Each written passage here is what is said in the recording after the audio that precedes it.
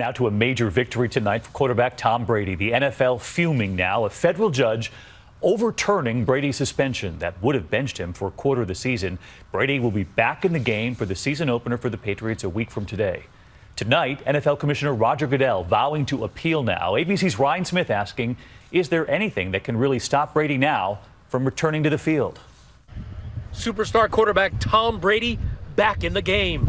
Tonight, the Super Bowl winner's four game suspension overturned, thrown out by a federal judge a week before the New England Patriots' first regular season game. Judge Richard Berman took aim at the way the NFL handled the controversy, saying Commissioner Roger Goodell denied the star requested access to key files and witnesses, and saying the quarterback didn't have notice of his potential punishment for his alleged role in Deflategate. But the judge not resolving one critical aspect of Deflategate not addressing whether Brady actually knew about or encouraged football tampering. If you're a Patriots fan, you love Brady and you're cheering today. If you're around the rest of the country, you're wondering, hey, did a cheater just get away with this? Tonight, the reactions pouring in. Teammate Rob Gronkowski tweeting, let's go. Brady's Players Union claiming victory, saying Goodell doesn't have the authority to be unfair, arbitrary, and misleading.